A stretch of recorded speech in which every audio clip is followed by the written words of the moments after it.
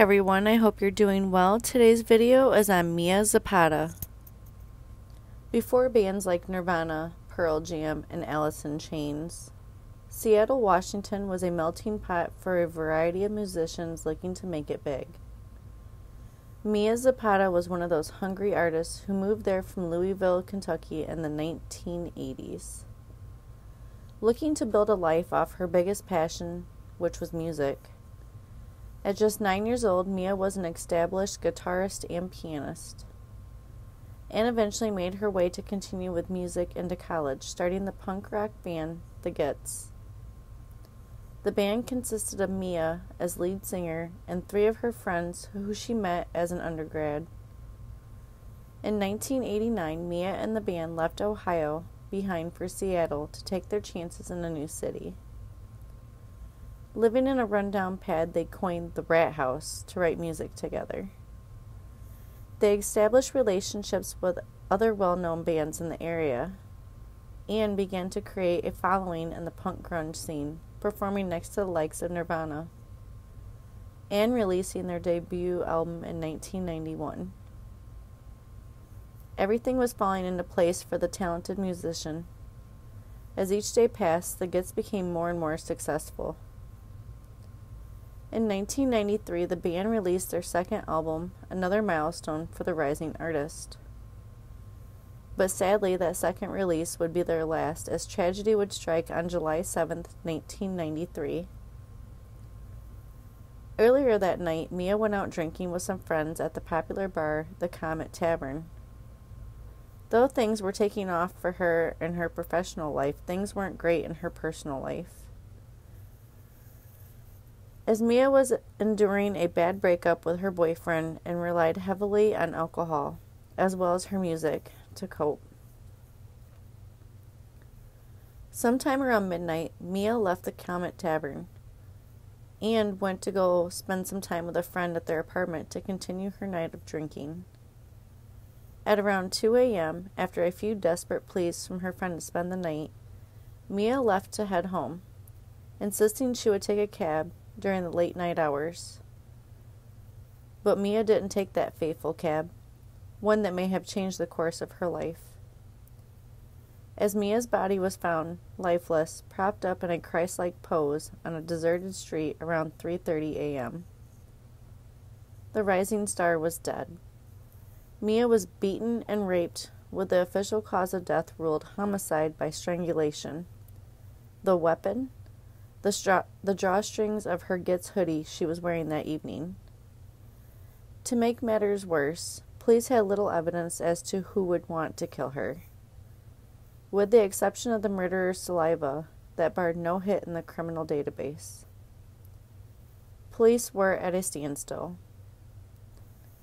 The Seattle music scene was devastated. Beyond her work with the Gits, Mia was a driving force unlike anyone else of her time.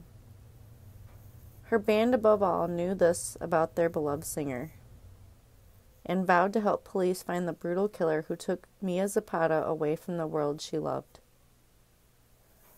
Their first move was to organize a self defense group called Home Alive, which they did together with punk rock band Seven Year Bitch. The organization not only taught a range of courses, but the group coordinated benefit shows booking some of the country's top talent such as Nirvana, Soundgarden, and punk goddess Joan Jett. Joan became a staple in keeping Mia's memory alive by releasing an album with the Gits called Evil Stig. And she even wrote a song in tribute to the late singer called Go Home, a heartbreaking account of the terror Mia faced that night. The organization, benefit shows, and newly released records had one mission in mind raising enough money to invest in efforts to catch Mia's killer. Thanks to the Home Alive startup and benefit shows, the band made enough money to hire a private detective. Leah Hearon was employed by the band for three years to help track down Mia's savage killer. She poured years into Mia's life, following leads through and through by working closely with the police. When the money ran out, Leah continued on her hunt but Alice was no closer to cracking the case. For years, police continued in their search, keeping Mia's file wide open. For one thing they did have was the, D- the killer's DNA, a tiny amount of saliva found on Mia's body. In 2001, investigators submitted the DNA into a national criminal database, but sadly, nothing matched. But when Jesus Mezquia was arrested in Florida for burglary and domestic abuse a year later, Seattle police got a call that would bring some closure to this tragic story. Mia's killer was finally caught.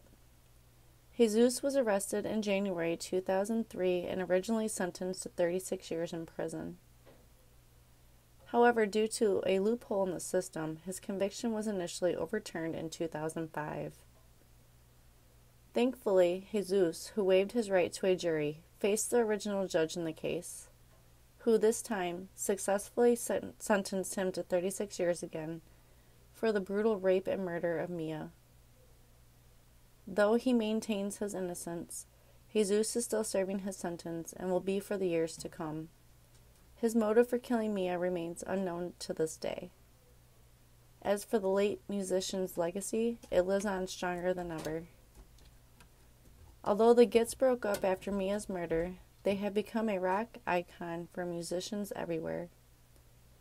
And Mia, a fem- feminist martyr who did not die in vain, as her music, her talent, and her murder is embedded in the hearts of everyone who knew her, who knew the Gits, and appreciated the musical prodigy the world quite frankly didn't deserve.